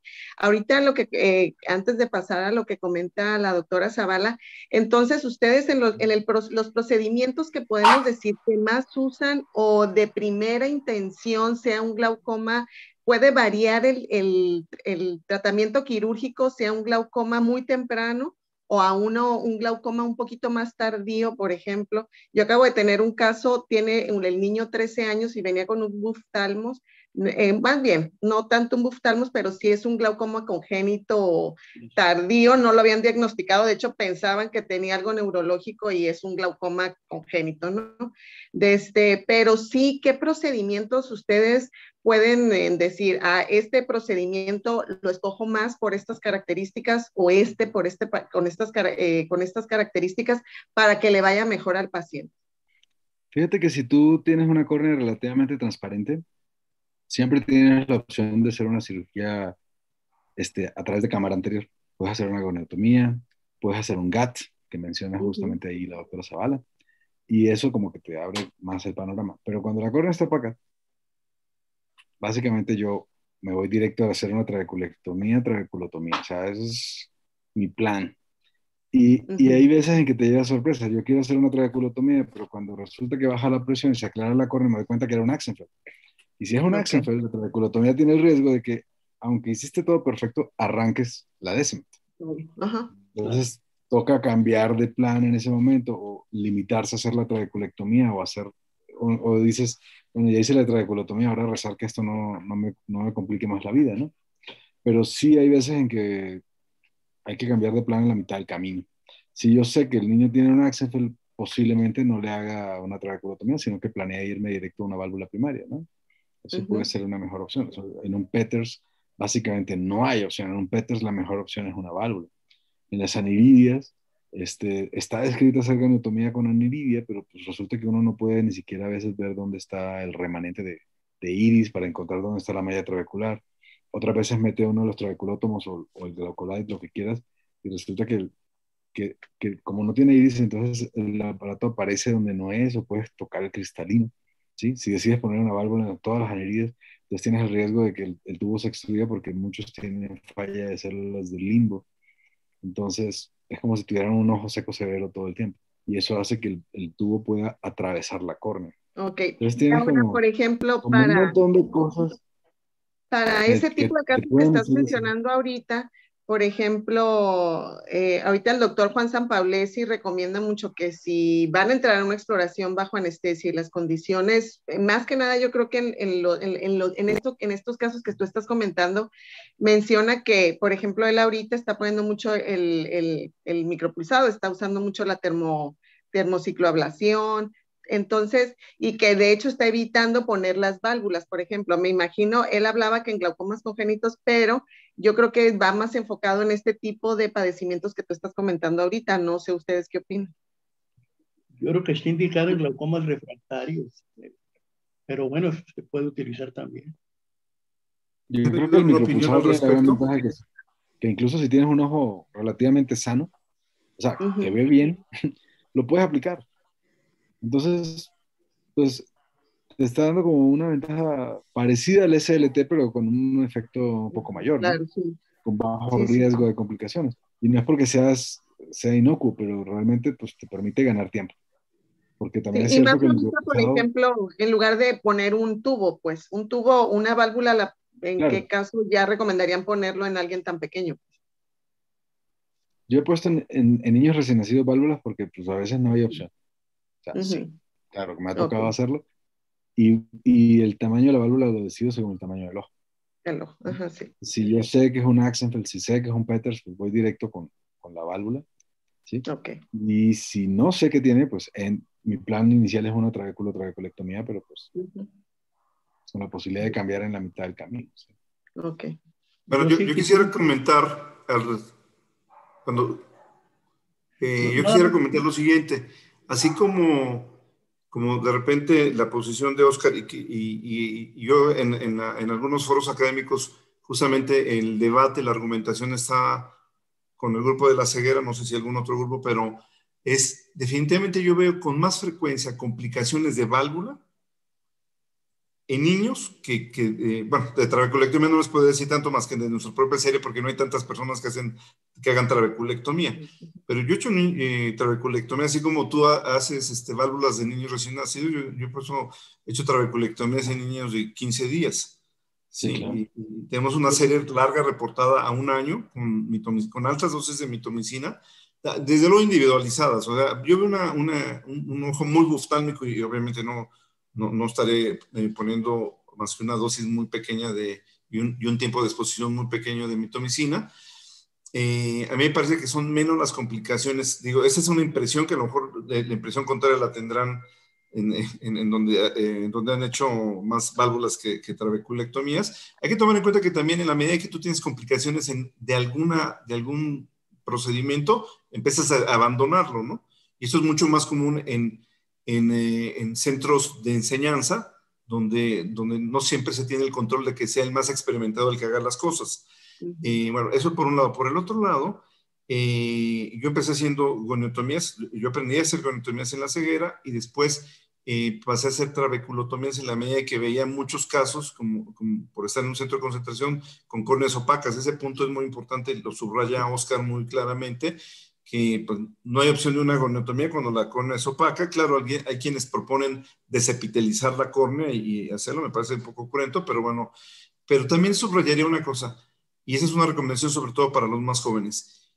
Impúlsense a realizar y a dominar, a generar una máxima destreza con un procedimiento, porque es muy difícil en una, en una condición tan rara, tan inusual, eh, generar eh, experiencia quirúrgica en más de un procedimiento. ¿no? Entonces, si alguien además hace en adultos GAT, pues igual puede hacer GAT en, en, los niños. Eh, hay, hay, una tendencia que, no, que, que, que, yo apoyo, pero que no es sea mi idea, sino de personas con bastante introspección en el campo, es abandonar en la medida de lo posible los dispositivos que se dejan en, el, en los, dentro de los ojos. Inclusive hay una tendencia por inclusive abandonar, ir alejándose de mix de algunos mix, bueno, ya se, ya se sabe de algunos que se han abandonado por esa razón, pero creo que, creo que es importante que mientras menos elementos dejemos en la cámara anterior, sobre todo en las personas más jóvenes, si en los que a lo mejor veríamos años después no solamente la, la, las, exposiciones de, la, de, los tubos, las exposiciones de las, eh, de las uh, ampollas o de las rupturas de las ampollas, sino otros, otros problemas, eh, como sería simplemente la descompensación de la córnea que no tenga toque con el endotelio. Entonces, ese es un punto claro. Y yo creo también que yo apoyaría la idea de que cada vez más, sobre todo cuando falla nuestra cirugía angular primaria y a lo mejor nuestra trabeculectomía, si es que se hace trabeculectomía o válvula, creo que tenemos que tener mucho más a flor de piel el, el, el tomar decisiones a través de ciclofotocoagulación micropulsada. Sí, eh, nosotros observamos que eh, con más frecuencia los niños que los adultos requieren retratamiento. Pero también eso tiene que ver con que eh, de repente también se puede tener más miedo a hacer tratamientos eh, en, en, esferas más delgadas. Eso por un lado. Y por el otro, eh, en mi experiencia personal, hubo un cambio significativo, sobre todo en los pediátricos, cuando empezamos a transiluminar y a marcar el, eh, dónde estaba el cuerpo ciliar. Yo pienso que es, los, para quienes hagan este micropulsado, niños o adultos, marquen, su, su, cuerpo ciliar con transiluminación al principio de la cirugía. Yo pienso que eso es muy importante para poder tener eh, resultados más consistentes, más reproducibles y menos retratamientos. De acuerdo con ustedes. Yo pienso que una, por lo que voy a recalcar lo que dijeron, una córnea transparente, sobre todo del primer, en el glaucoma infantil del primer mes a los 24 meses, goniotomía si se puede, o trabeculotomía. ya después, bueno, durante mucho tiempo usamos la trabeculectomía sin mitomicina, pero nos funcionó mucho mejor, como dices, José Antonio, la trabeculotomía más trabeculectomía. Efectivamente, sí es. Tuvo mayor tasa de éxito es lo que encontramos. Y aclarando, porque se preocupa uno mucho a veces por el tamaño de la goniotomía. Hay un caso que tengo de los jurados que les comenté, si quieren entrecomillarlo. fue un niño que le hicimos una agoniotomía de menos de un cuarto de, diámetro y el niño ahorita tiene ya 29 años y está funcionando perfectamente sin tratamiento. Es decir, el ojo responde a veces de mejor de lo que esperamos. Por otro lado, eh, sí quisiera insistir, sabiendo que hay oftalmólogas pediatras, que es importante ver al niño con glaucoma congénito, que lo vea un equipo de médicos, el pediatra, el oftalmólogo pediatra, el genetista, el ecografista, etc. Y por supuesto el glaucomatólogo, porque es una, es una situación que a veces nos olvidamos de ello y es importante recalcar. Completamente de acuerdo. Justo eso entra con la parte de la genética que está preguntando la doctora Mónica. Este, sí vale la pena hacer interconsulta genética definitivamente. Yo creo que es útil para, el, para los padres, es útil para, para el mismo paciente. Eh, cuáles son sus posibilidades de que tenga hijos también afectados por la misma enfermedad.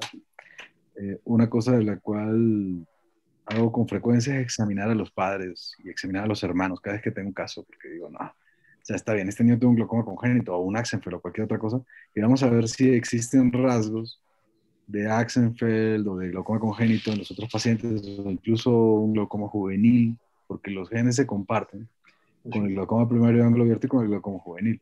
Entonces, eh, vale la pena hacer ese examen, eh, porque podemos detectar cosas que, que, nos permiten hacer un mejor pronóstico. Y por supuesto, hay, hay veces donde simplemente o hay una mutación de nuevo, o de pronto corremos el riesgo de que la prueba genética nos diga que el papá no es el papá, ¿no? Eso sí, también es esas, cosas que hay que tener en cuenta. Eh, Oscar, tú, entonces has puesto muchas válvulas en niños. Sí, y, como dice Toño, cada vez pongo menos. Ah, ok. Es cierto, porque, porque sí tienen ciertas complicaciones. O sea, si fuera como la panacea estaría bien. Digamos, cuando, digamos un, un caso raro, Sturge-Weber. Un Sturge-Weber, yo tomo la decisión quirúrgica según la gonioscopía. Si tiene un ángulo que es de ángulo de glaucoma congénito, le hago trabeculotomía. Ok. Pero cuando está el ángulo completamente normal, perdón, en un glaucoma, la válvula. ¿La válvula la indicas mucho o no? En un glaucoma primario nunca. Nunca, Nunca, o sea, solamente cuando están multioperados, cuando son Peters, Axenfelds, ya sabe, cuando está horrible. entonces, cuando, el, cuando el ángulo está destrozado, entonces pongo la válvula. Pero, pero no pongo válvulas primarias, o sea, es, es, sumamente raro, a menos que sepa yo que es un caso de que tiene mal pronóstico para una cirugía filtrante. No. Yo, yo, quisiera solamente subrayar, y que bueno, tal vez casi casi Ricardo lo hizo por mí, que, no, nunca indicaría una trabeculectomía para atender un caso primario. Con, o sea, se, asocia la trabeculotomía, la trabeculectomía a la trabeculotomía. Eso simplemente impulsa el, el, efecto eh, reductor de la presión intraocular. E, es, ideal para aquellos que tienen, eh, eso eh, lo leí en un, en un artículo de, de justamente de, de sauditas, de árabes, que decían, cuando, cuando un ojo tiene 13 milímetros o más y, la, y o la córnea es opaca, porque hay una relación entre la cantidad de presión y, la, el grado de opacidad de la córnea, siempre que no sea una, un síndrome o una enfermedad, eh, una enfermedad corneal, ellos decían, lo hacemos trabeculotomía, trabeculectomía. Sí. Entonces, eh, realmente eh, sí debemos de también enfatizar que hay más de una forma de aproximar esto. realmente no creo que que hoy exista una forma eh, dogmática de decir este camino, salvo el de que sí se te subrayo, eh, que se tenga que hacer cirugía de ángulo para los congénitos, eh, inclusive para algunos, inclusive eh, Sturge Weber, que, que pueden ser de inicio temprano. Los de inicio temprano pueden tener un componente de trabeculodisgenesia y en ellos vendría bien hacer una, también una trabeculotomía. Eh, cuando a lo mejor ya más tardíamente eh, sea más el, el efecto de la, del aumento de la presión venosa epicleral que la disfunción trabecular por anormalidad eh, embrionaria. ¿sí? Entonces, este, y en, relación a los glaucomas eh, juveniles, el problema a veces no está en los juveniles como tal de alguien que tiene 28 años o 27 años, sino los que tienen 6 o 7 años, 8 años, 10 años de edad, que a veces es difícil saber si, si tienen glaucoma, si es un glaucoma juvenil de inicio temprano, de inicio muy temprano. Y creo que ante, esa, ante esa posibilidad, lo, que, lo que aconseja Oscar es muy bueno, el de informar o o inclusive ser más proactivo e, e, y evaluar a padres y hermanos, porque pues sabemos que además si, si es un, juvenil, pues tendría una predisposición a tener un comportamiento de herencia mendeliana de autosómico dominante. Entonces, este, podría ahorrarse algunas lágrimas para, para, los, para esa familia, ¿no? Y yo quisiera también comentar algo. Esos pacientes, sabemos que el glaucoma congénito es eminentemente quirúrgico, no queda duda. Pero sí hay casos operados en los cuales hay situaciones que se puede manejar médicamente, sobre todo glaucomas ya infantiles, ya tardíos, más bien juveniles. Es importante que valoren, en algunos casos uno dura un tiempo con el tratamiento médico y se empieza a estabilizar la presión. Es decir, no echarlo fuera de borde, tratar médicamente a, los, a algunos casos, a algunos casos que les pueden responder. Muy bien, no sé si quieran hacer algún comentario final ya para, para es que han estado comentando, eh, o alguna otra pregunta que quieran que alguien más de los, de los participantes quisiera hacer. La verdad está muy bueno el tema, mucha información y creo que sí es importante porque a veces sí llegan estos pacientitos y los, más que nada los familiares traen muchas dudas y muchas inquietudes y el detalle es de que un procedimiento, otro y la mayoría no entonces, a veces cuando les va muy bien de inicio, pues es algo excelente, pero a veces ya nos llegan en etapas muy avanzadas. Y ofrecerle algo a un paciente cuando desea ya recuperar visión, que es lo principal, pues ya no está en nuestras manos, ¿no? Entonces, ofrecerle el mejor procedimiento a estos pacientes para, pues, mejorarle la calidad de vida. No sé si tengan un último comentario.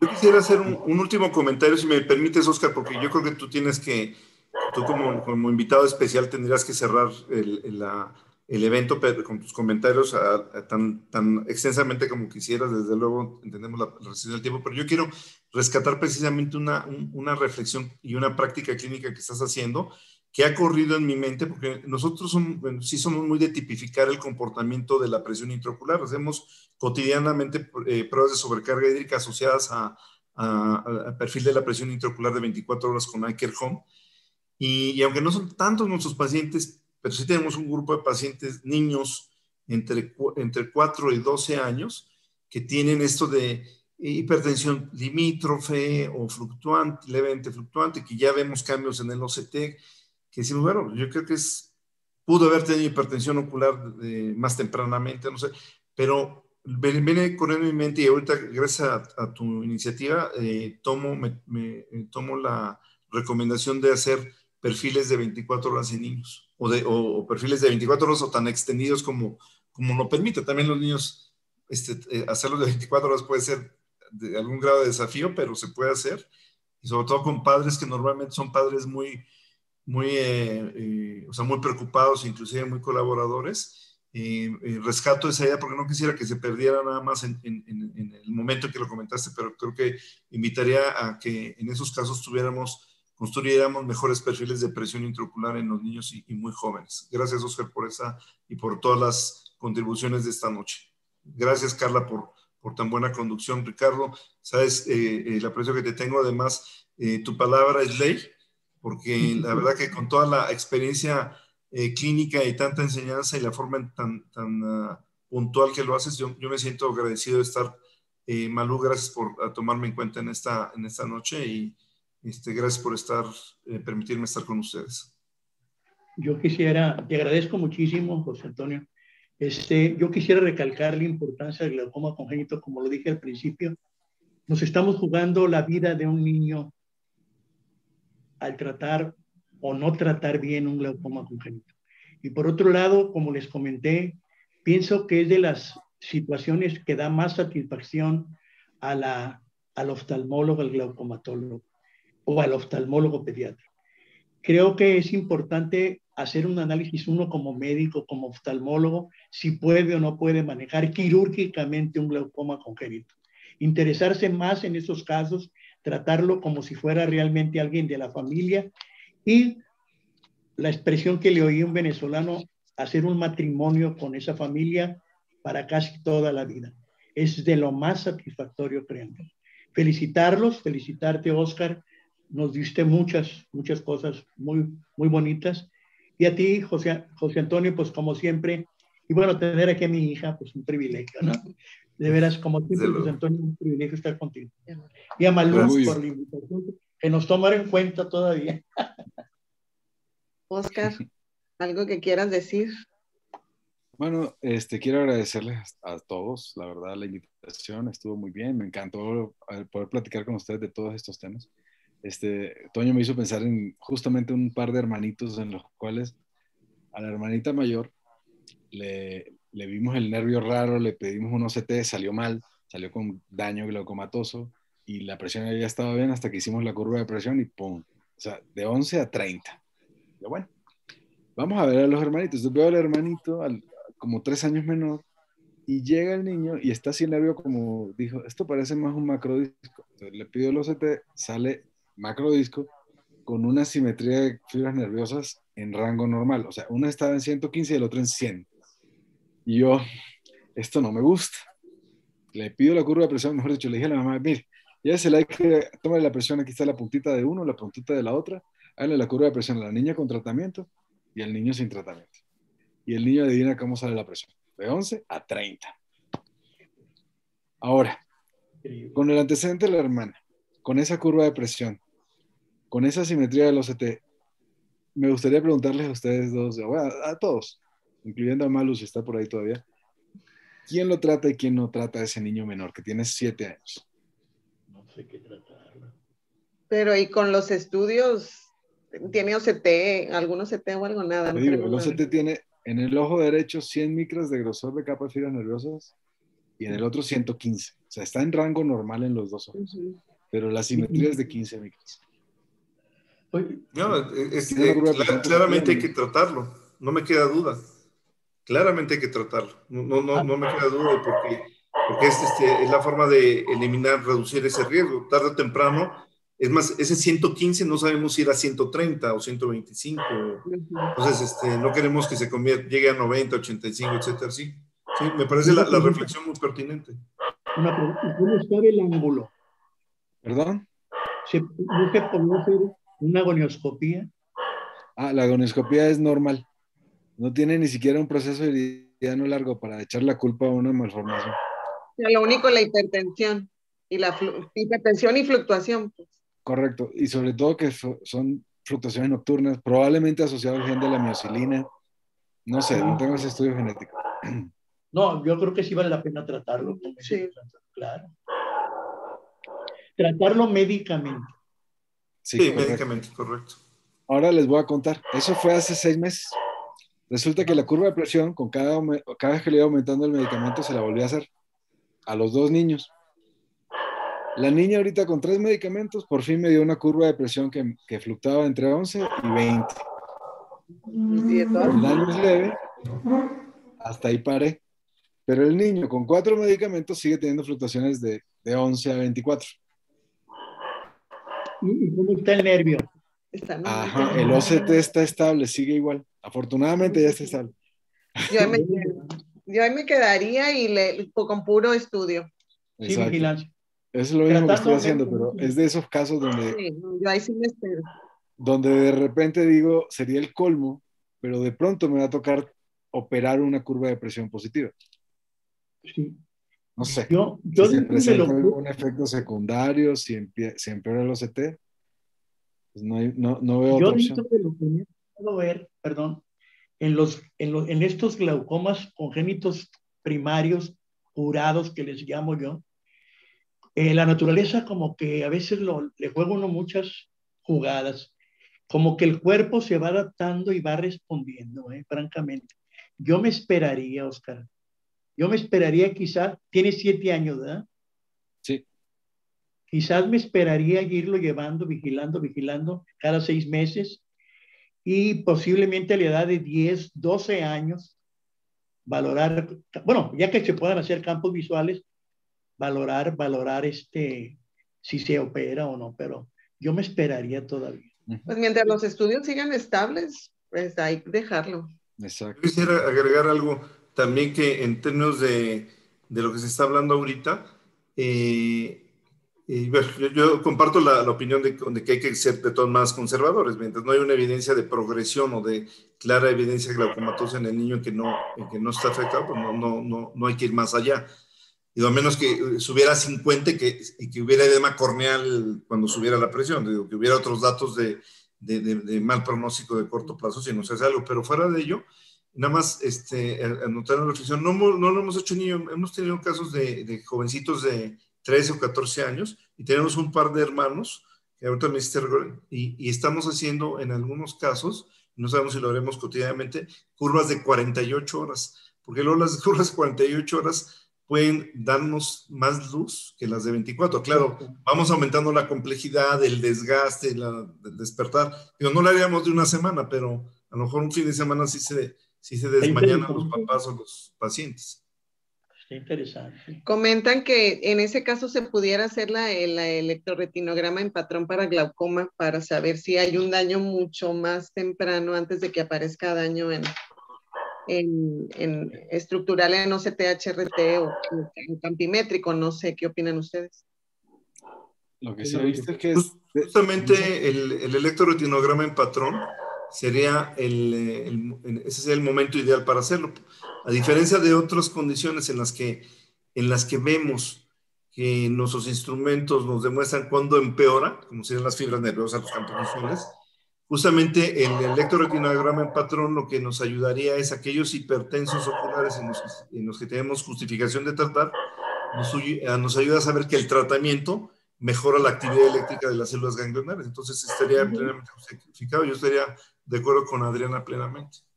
Ok, perfecto. Pues muy bien, pues esa sería una opción. Bueno, muchas gracias de nuevo por la invitación. Ha sido un placer verlos a todos. Ver al doctor Chávez, como siempre, recordando todos los congresos donde estábamos con las cámaras y tomando fotos y todo. Me siento honrado de estar en algunas de esas fotos. Carlita, qué gusto verte. Malu, gracias por la invitación, Antonio. Muchas gracias. Muchas gracias por tu palabra, por tu presentación y por encargarte de algunos de mis pacientes que han llegado allá a tus manos, este, incluso complicados. Muchas gracias. Cuídense mucho. Gracias, cuídense mucho. Un abrazo grande. Muchísimas gracias, Oscar. No, pues muchas gracias a todos. Malú, te cedo la palabra. Fue un honor haber presidido esta, esta mesa. Muchas gracias. Perfecto, pues agradezco a los panelistas, agradezco al doctor Oscar Alves, al doctor José Antonio Paxca, al doctor Ricardo Chávez y evidentemente a la doctora Carla. Eh, ha sido una sesión excelente, hemos aprendido muchísimo y creo que en este tema nunca acabamos de aprender. Entonces, eh, en verdad, muchísimas gracias a todos. Eh, la doctora Yesenia Dorantes, si se encuentra por ahí, les hará entrega de los diplomas